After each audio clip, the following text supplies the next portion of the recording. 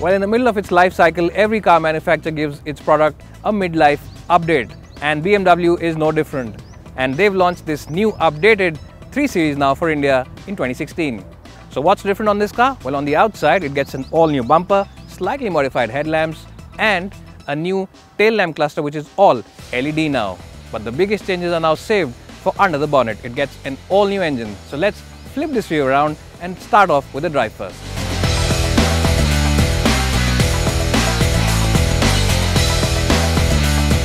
Well, so here I am driving the uh, BMW 3 Series now. At the moment in India, there's only one engine option on uh, sale. That's the 320D, and this, of course, is the uh, 2-liter engine, which uh, now develops about 190 bhp of horsepower as well as 400 Nm of torque.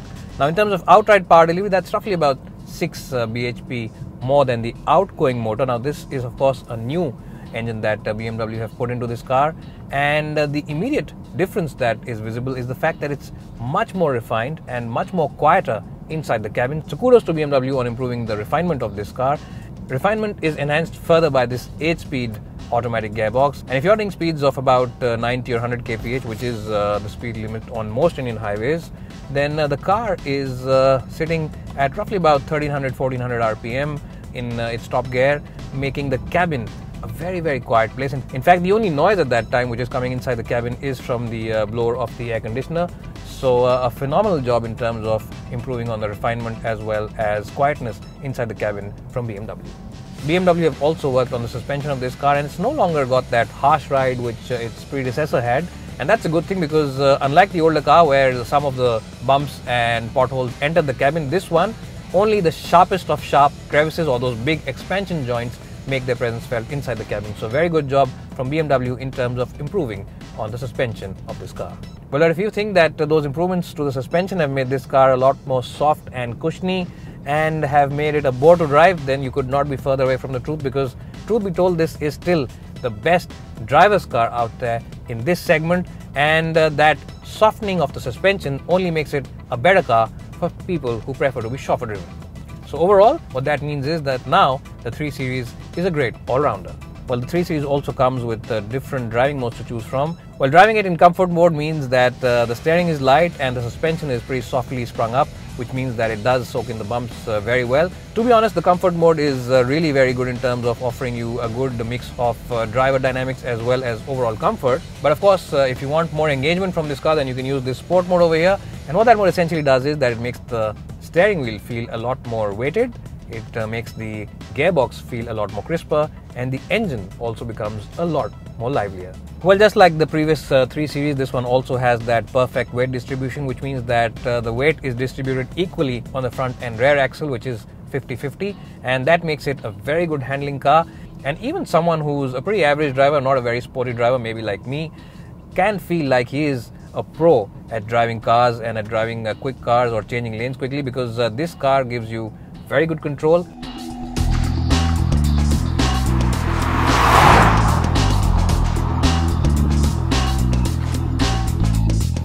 While the 8-speed gearbox on this car is very sharp, it's very very quick and now it also gets these paddle shifters behind the steering wheel on the diesel version which was not present on the older car and what that means is that the feeling of driver involvement is further enhanced inside this car. Well, when you turn this car into sharp corners, there's uh, very little body roll and that adds to the sense of uh, keen drive involvement. Also, this car uh, offers you a very crisp steering wheel. This steering wheel is the best in this segment. It's better than the A4, it's better than the C-Class and definitely better than the S60.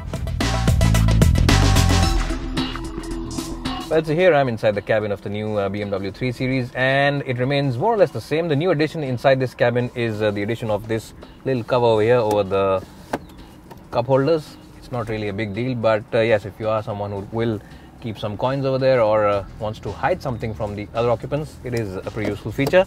Well, in terms of quality, this is a very good place to be in. And remember, this of course is the top of the line M Sport package, which means you get this uh, four carbon fiber over here, and you also get uh, this soft material over here, which really does enhance the overall appeal of this cabin. And even the lower end of the dashboard, a place where a lot of other car manufacturers skimp on quality. Well, BMW hasn't done that. And talking about the door bins, well, they are pretty big enough to house those big one liter bottles, which means that this is a very good place for practicality. Well, in terms of overall cabin ambience, this car feels very sporty and very youthful to be in. Now, unlike the Mercedes C-Class, it doesn't feel as opulent or as luxurious as that car does.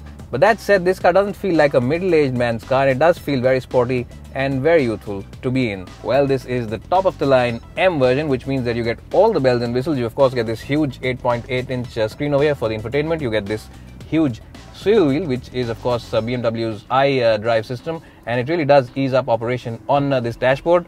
You also get uh, dual zone climate control, multiple airbags, a sunroof, and a lot of other kit. And if you want to know more about this car and its variants and each feature on that variant, do head to our website by clicking on this link below and find them out for yourself. Well, so here I'm inside the cabin of the BMW 3 Series and I'm sure by now you know that my height is 5'10 for reference and I always adjust the front seat for my driving position. And as you can see, even then I have a good amount of knee room and headroom is also pretty generous. And what that means is that even someone who is over 6 feet uh, tall over here should not have a problem even if he sits upright over here. Headroom isn't an issue at all. Well, the only issue truly is this huge hump over here in the floor panel but to be honest, uh, all its other rivals, including the Jaguar XE as well as the Mercedes C-Class, also have a hump over here. So whoever's sitting in the middle seat will have to uh, stretch his feet and uh, fight with the other occupants. But that said, the seats themselves are very comfortable. The backrest angle is very good. The support is good. And the squab is also pretty long, which means that even taller passengers have ample under-thigh support.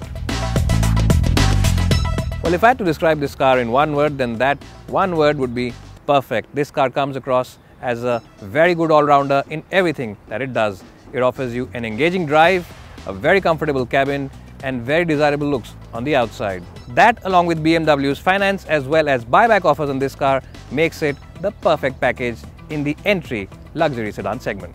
But if you're not as convinced about this car as I am, you should also check out its main rival, the Mercedes C-Class by clicking over here and also check out our review of the Volvo S60 by clicking on this link over here. And as always, don't forget to subscribe by clicking on this link above. It's bye for now and hope to see you soon.